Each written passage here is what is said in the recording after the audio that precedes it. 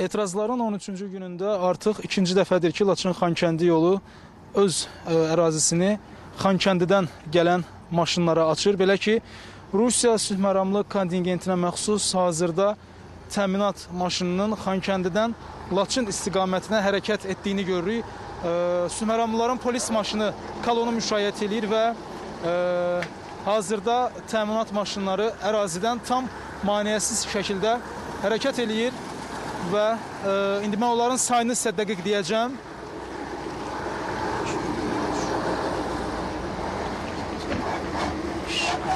Ə, hələ ki 6 maşının ə, keçidi nəzərdə tutulmuşdu, amma ə, ümumilikdə 7 təminat maşını burada keçdi və bir də ə, sülh məramlıların polis maşınının müşayiəti və bəli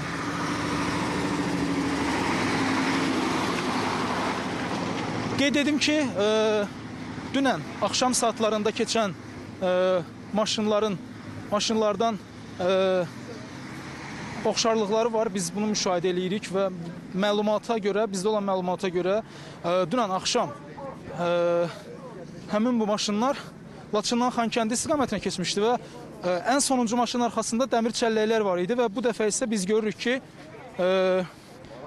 həmin dəmir çəlləklər orada yoxdur və belə aydın olur ki, Laçın istiqamətindən gətirilən təminat əşyaları Xankəndidə yerləşdirilib və indi isə bu gün həmin o maşınlar orada təminatlarını boşaldandan sonra üzü Laçın istiqamətinə tərəf gedirlər və arxada isə gördüyünüz kimi artıq ə, xahiş eləyəcəm Məhəmməd göstərsin. Etirazçılar yenidən öz yerlərini aldılar və ə, şərait yaratdılar ki, maşın kolonu buradan keçsin.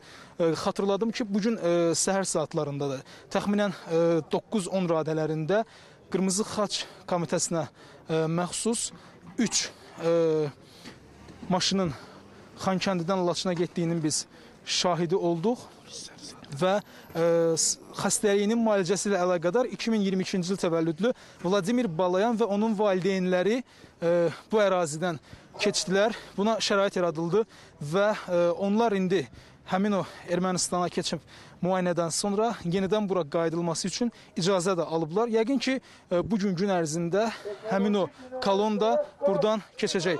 Hələ ki, Laçın Xankəndi yolundan olan məlumatlar bu qədərdir. Ə, Bundan sonra da nə baş verəcəksə bunu sizə operativ şəkildə göstərəcəyik.